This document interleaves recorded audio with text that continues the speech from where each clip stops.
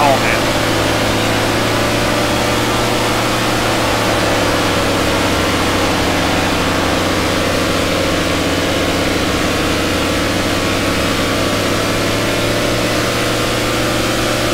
Keep pushing.